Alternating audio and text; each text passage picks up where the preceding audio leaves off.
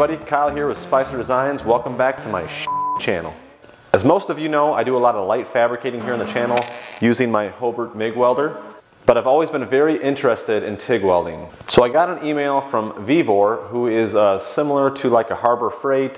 They've got a huge online store with all kinds of different stuff on it. I will leave a link for their website in the description. Definitely go check it out. They got a lot of cool stuff on there. So they ended up sending me a TIG welder to try out, which is perfect because I was already looking for one. So today we're gonna take a look at this thing and see if it's any good. Here is the Vevor welder. Before we take this thing out of the box, I just want to do a little bit of a durability test, kind of bang this thing around a little bit. I'm sure Vevor's not going to be too happy with this. As long as it survives what I'm about to do to it, then uh, we'll be able to actually try it out and do a review on it.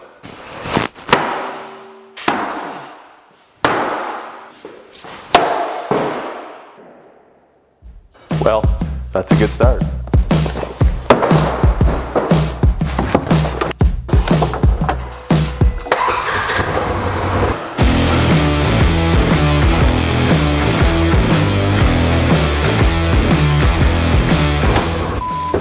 Phone. Got it.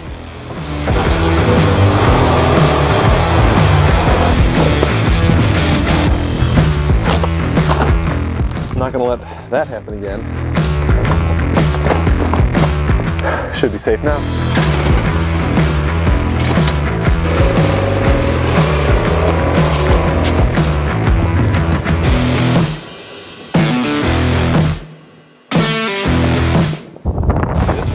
Call the extra point.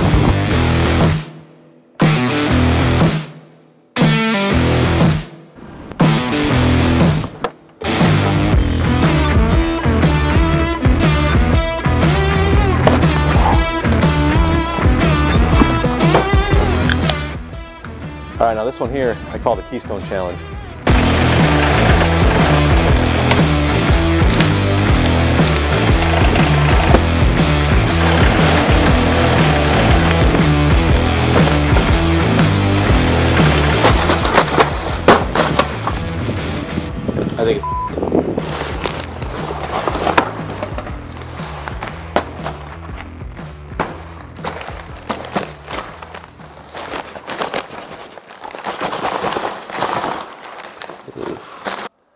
Well, that wraps up for the uh, durability test. We're gonna go ahead and open this thing up, see if it's still intact, and if this thing even works anymore. see what we got here.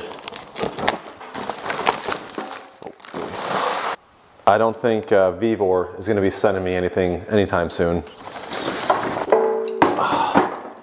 What? You've got to be shitting me.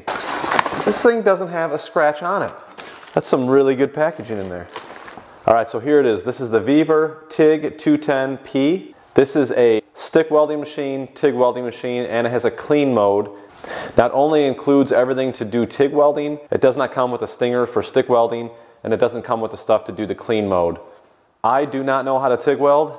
I am new to it. I've always wanted to learn how to do it. TIG welding can be kind of intimidating because anyone that's done any kind of welding knows that TIG welding is kind of the top tier of welding. But TIG welds are some of the best welds you're ever gonna see, and that's why a lot of people are intrigued by it like myself. Now the reason that I believe that this is gonna be the perfect TIG machine for a beginner like myself is because I don't know how good I'm gonna be at it. I don't wanna cause any damage to the machine. So if I go out and buy a $1,500 or $2,000 TIG welding machine and I'm not doing it right and I'm causing some kind of harm to the machine, or maybe I find out that I just suck at it and it's not for me. Now I'm stuck with a $2,000 machine that I may or may not be able to return. I will have Amazon links in the description for this machine. I will also have links for the Vevor website where you could also find this machine.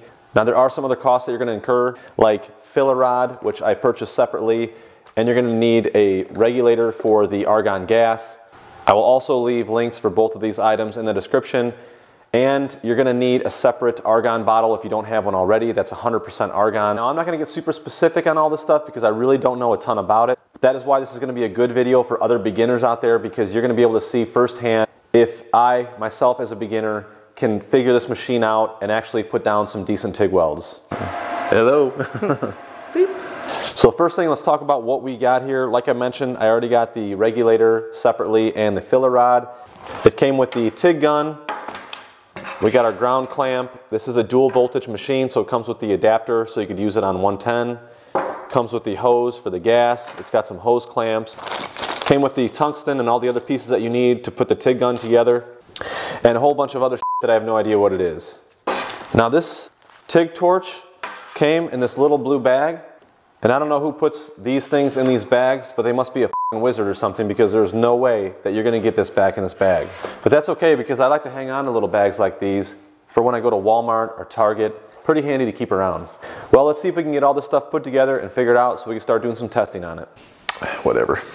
All right, so the first thing I want to do for this setup is I want to put this TIG torch together. So let's take a quick look at all the pieces that they sent here for the TIG torch.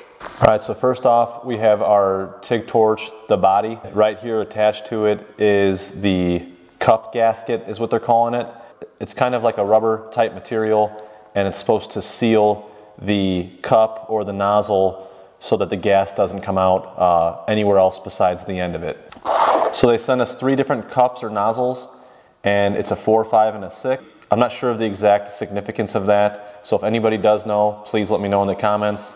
We're going to start with the largest cup because I know that that will give us more gas displacement on the weld itself. And then right here we have our collet body and our different collets depending on what size tungsten that you have. So that moves us here to the tungsten. Uh, they send you one piece right here. It's a red tungsten, which I will leave a chart up right here, which will show you the significance of the colors. They give you two different back caps here. Uh, they give you like kind of a short stubby one, and then they give you a longer one, which will accept a full piece of tungsten into it. I think a lot of that is just preference. And then also on this TIG torch, it has a finger trigger on it to initiate the arc. So the very first thing that we need to do is sharpen our tungsten, and I will leave another chart up right here where you can see depending on what angle you sharpen it at, it will give you kind of a different arc size and penetration. So we're gonna go ahead and sharpen this somewhere in that 15 to 30 degree angle. I'm obviously just a beginner, so I don't even have anything to compare it to, so we're gonna just start with that and just kind of get our feet wet a little bit. All right, since I don't have a belt grinder, I'm gonna go ahead and use my dual drum sander, which is kind of overkill. But I threw that tungsten in this drill, so I'm basically gonna go ahead and just spin it and kind of grind it down to where I want it.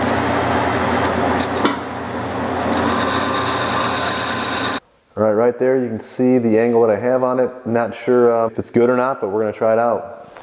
All right, let's go ahead and put this thing together now. Like I said before, I'm gonna use the cup with the largest opening just so we get the most gas coverage. Again, not sure if that's the right choice or not, but I need a starting point, so that's it. Now they give us three different size collets right here, and I found that the uh, 2.0 fits the 16th inch tungsten perfectly. So we got our tungsten sharpened. Let's go ahead and put this thing together now. So the first thing we're gonna do is screw in the collet body. And there's kind of a, little bit of a grip area right there. I'm gonna go ahead and use my welding pliers and just give it a slight little bump just so I know it's nice and tight. Next thing we're gonna do is slide in that collet and then we're gonna slide in our tungsten. We're gonna leave that tungsten stick out a couple inches for now and then we'll screw on our back cap. Now when we screw this back cap on, it's gonna push that collet into the collet body and it's gonna squeeze on that tungsten. So you wanna make sure that you have it tight enough where it'll kind of hold it in place for now until we get that cup on and then we can adjust how far that tungsten's sticking out and then we can tighten this thing down all the way. Next thing we're gonna do is screw our cup on. You wanna make sure that you get it to seat into that cup gasket nice and tight so none of that gas leaks out around that edge there. All right, now that we got this thing somewhat put together, with all the information that I found so far, it sounds like you don't want to have your tungsten sticking out any further than the width of the cup. So if that cup is roughly 3 8 inches wide, we don't want to have that tungsten sticking out any further than 3 8 from the tip of this cup. So we're going to go ahead and get that right where we want it. And I believe that if you have it in a little bit, that's okay, but you just don't want it out any further than that. So I think that looks like a good length right there. So I'm gonna go ahead and tighten this stem up so that tungsten should not move anymore. All right, so for right now, that's gonna be it with assembling the TIG torch. Now we can start hooking all the stuff up to the machine. Subscribe. All right, since I got this TIG torch all put together, I went ahead and connected everything up to the machine. So let's take a second, I'll run you through that real quick and then we'll go ahead and turn this machine on. Here we have our TIG torch and there's a little TIG torch symbol right there. That's where our TIG is gonna hook up. And then you have the trigger signal right next to it. And then next to that, you have the positive terminal and it's got a little diagram of your ground clamp. So that's where we're gonna hook our ground clamp up to.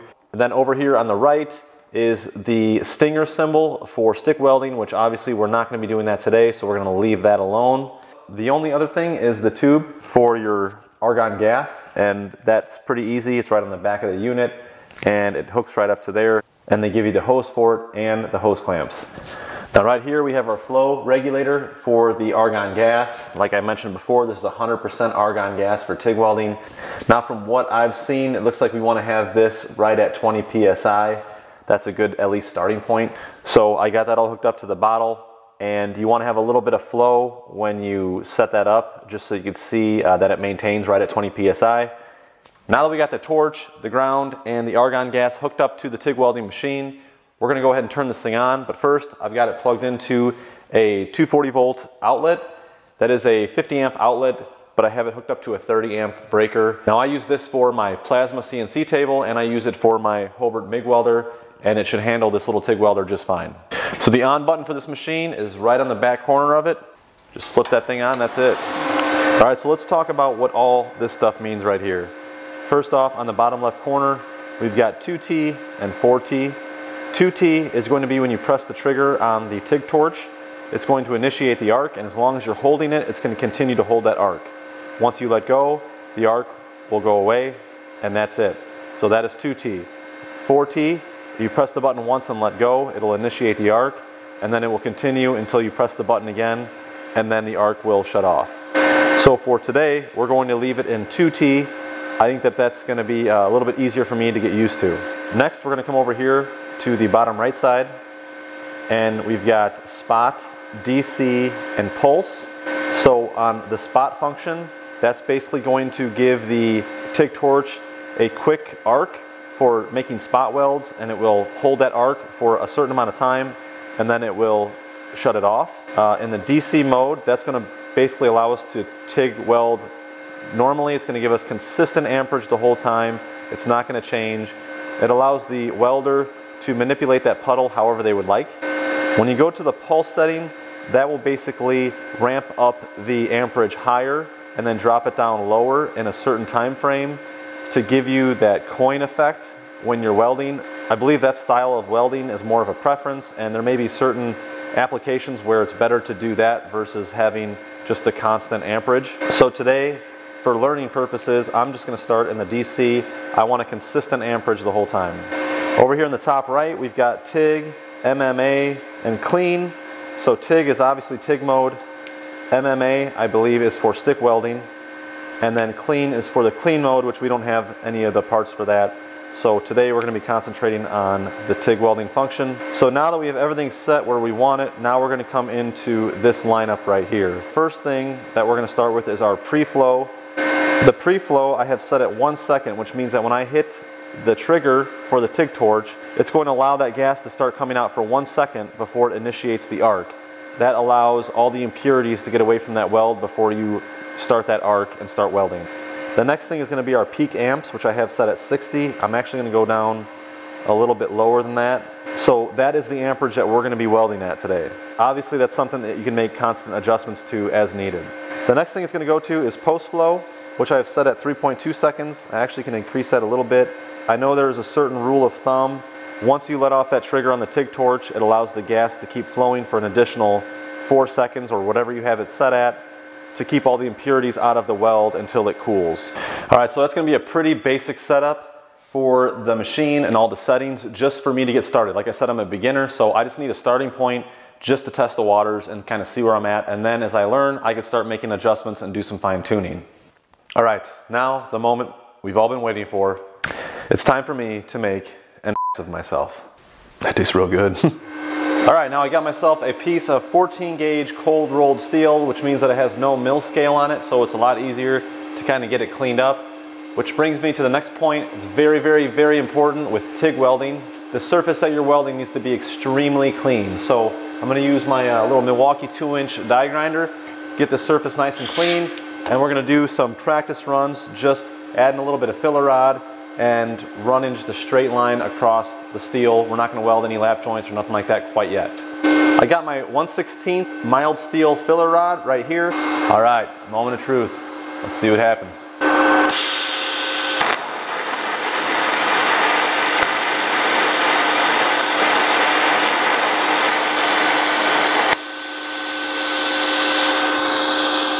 All right, let's take a look at my first couple of passes ever. Basically, I went in a straight line here. I struck the arc and I kind of watched that puddle form and then I dipped the filler rod in there and then I moved it a little bit straight, dipped the filler rod, moved it, dipped the filler rod. I just kind of did that for about, I don't know, an inch. And then on the second one, I pretty much did the same thing. I went a little bit further. Then on the third one, I did a circle and then I dipped the filler rod, I did a circle, I dipped the filler rod, and I just kept doing that all the way around. And you can see that one got a little bit wider, and it gave a little bit more of that coin effect. I mean, doesn't look good, but uh, it's not as bad as I thought it was gonna be, at least for starting out. All right, now that we laid down a couple of test passes on that flat piece of steel, we're gonna go ahead and use the Langmuir Crossfire Pro CNC plasma table. I'll have a promo code in the description, Spicer Designs, if you want to save some money, if you are interested in one of these tables. What we're going to do is we're going to cut a couple of test plates or coupons that we can do some lap welds and some tees to see how this thing does in those angles and welding two pieces of plate together. All right, now I bet you guys are wondering where I got this Keystone from. Well, that's none of your business. Just kidding. Come on out here, Keystone Girl. Now you might have noticed the Keystone Girl is wearing a little bit more appropriate work attire. Uh, do you want to tell them what happened? Put get back in there. Hello. I got written up by the HR department. Now, since the Keystone Girl was so good at hitting the start button the last time we used the plasma table, I'm gonna go ahead and have her hit the start button again. So uh, let's get it on. Hey, that's sexual harassment. I don't think HR would approve of that. all right, all you're gonna do, hit that start button. You just gotta click it or ticket.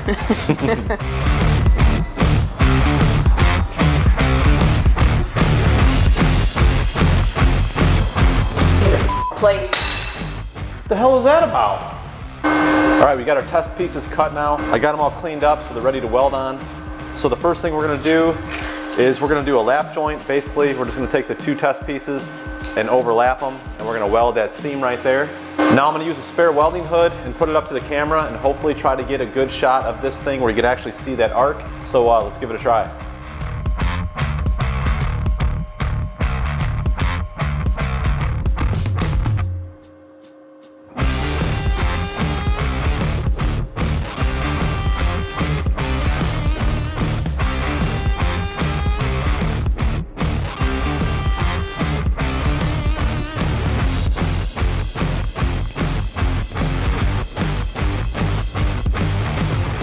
My overlap pass. It's not the greatest by any means. It's not awful. Probably could have used a little bit more filler rod. It's a good starting point.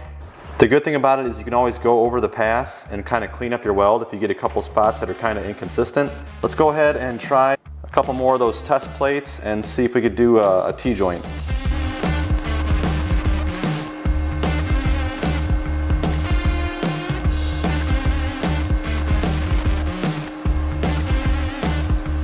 All right, here is my T-joint. You can see uh, there's quite a bit of fill in there.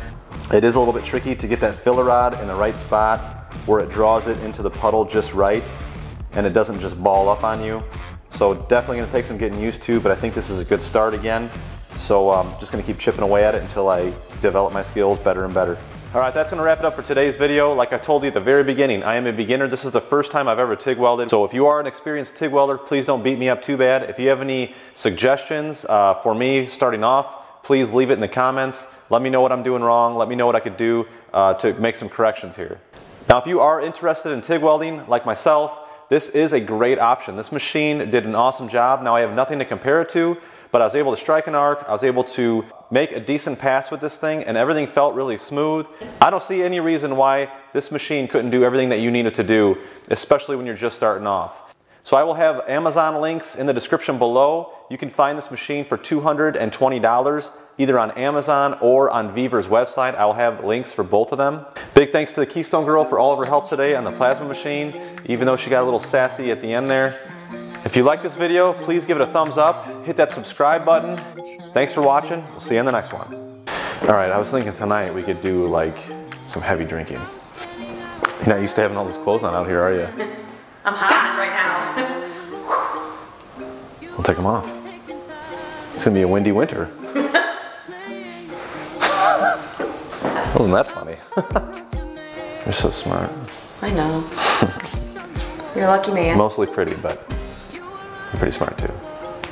You can kind of see my camel hoof. You can. What do you want me to do? Cut it off? These exact words were on the Weather Channel. It's gonna get windier tonight. Did you get fired? No, they promoted him. Tom Skilling.